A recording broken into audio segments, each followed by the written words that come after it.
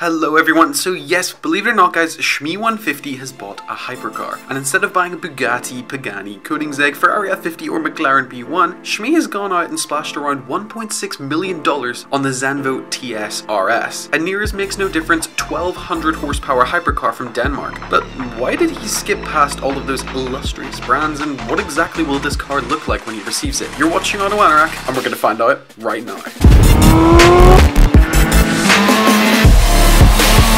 So first of all, let's do a recap on the car. The Zenvo TSRS is a highly updated version of the Zenvo hypercar. You may remember the ST1, which had a rather unfortunate rep in the press as it became a little bit more orange than Zenvo wanted it to be. Think of it as like a Koenigsegg CCX. Then they developed the TS1, which was the equivalent of an Agera, and now they have Shmee's car, the TSRS, which is like their version of the Koenigsegg Agera RS, especially since it has many similar attributes. It's got a very similar horsepower figure, around 1200 horsepower, and it has a V8, but this V8 is a 5.8 litre twin supercharged one, like the older Koenigsegg's. Like Koenigsegg's, it is also draped in carbon fibre, which can be fully customised to the owner's desire. It looks amazing. Now, the coolest features in this car are definitely the transmission and the wing. The transmission is called a hybrid sequential gearbox and incorporates an electric motor to help the 7-speed sequential gearbox smoothen shifts throughout the straight cut gears. Now, that all sounds very complicated, but I'll just let you listen to it and you can see why that's so cool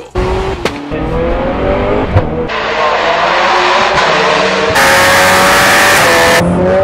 Next, it's got a centripetal multi-axis rear wing. Now, if that sounds crazy, that's because it is. This wing moves from side to side to increase downforce where it is needed most. And look, regardless of the effectiveness of this, my main concern is the sheer amount of cutting-edge tech in the Zenvo and how reliable it will actually be for Shmee. The Zenvo don't have the billions of development spend that Bugatti have and don't seem to have a nearby servicing network. The next question about this car is why Shmee bought it. We're all aware of a few of Tim's dream hypercars. They include the Ferrari F50, Porsche Carrera GT, Aston Martin 177, Bugatti Chiron, and McLaren P1. Of course, four of those cars are completely out of Shmee's budget, but P1s and Carrera GTs can be easily snatched up for around a million pounds. Yet he went for the Zenvo, a car rarely discussed before from Denmark. The YouTube algorithm is also catered towards cars that the wider audience searches for. It mainly consists of Lamborghinis, Ferraris, McLarens, and Bugattis in the hypercar world. Even Koenigsegg's and Pagani still aren't well known enough to do very well with the YouTube algorithm for the most part. So a Zenvo seems extremely counterproductive Stradman claimed that the large investment in the Bugatti that he bought made sense financially for the channel because of how memorable the Bugatti name is. People would know him for that car, whereas Zenvo is a car that people might confuse with some sort of sportswear company. Let's not forget that brand prestige is important for resale value as well, and that hypercars are notoriously difficult to sell, even with big brand names. So the car doesn't appear to be a long-term dream car. It might not hold its value, and it has a much lower chance of doing well on the channel versus something like a McLaren McLaren P1. So why do I think Tim has bought this car? Well, firstly, and this is a prediction, not a fact, Shmee may have got a good deal in this car. The Zenvo is a hypercar brand seldom discussed in the car world, and when people do discuss it, they generally say, ah, yeah, that, that, that's the car that went on fire in Top Gear, isn't it? Tim, as a guy that covers the world of living the supercar dream, is the perfect man for the job of elevating Zenvo's brand image. I can see why they may be inclined to work out some sort of deal with him. This deal may not necessarily be financial, but Zanvo may be able to give him a greater involvement involvement in the car's manufacturing process versus other manufacturers, which is very important for his channel. Secondly, and linking to that, this is the perfect car to present the process of buying a hypercar, and it's probably the only sub $2 million hypercar that you can buy brand new with over a thousand horsepower. If you bought something like a Carrera GT, he wouldn't be a part of that unique specking process that he loves so much. And thirdly, I reckon Shmee does genuinely love this car. It is right up his street. Shmee loves V8s, he loves tech, and he adores track-focused hypercars. The Senna in his Shmuseum is the perfect example of this. You could tell that he thoroughly enjoyed his experience in this car when it visited the Shmuseum, and I do think it'll be a great fit for him. Finally, let's talk about what we know about Shmee's